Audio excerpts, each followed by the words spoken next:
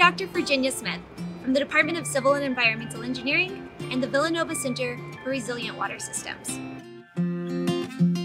I'm a water resources engineer, but specifically, I study the linkages between the water cycle, climate, and land surface processes.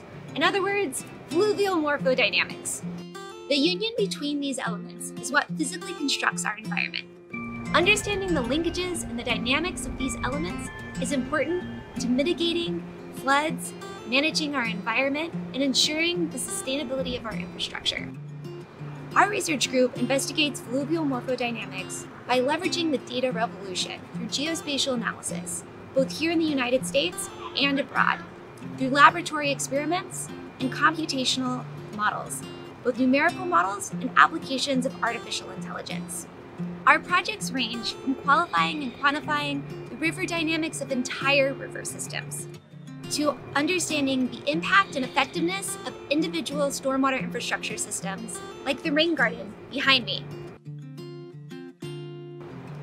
As urban environments are growing faster than they ever have before, novel approaches and innovations are needed to mitigate the effects of stormwater and flooding. That's what we seek to do in our research group.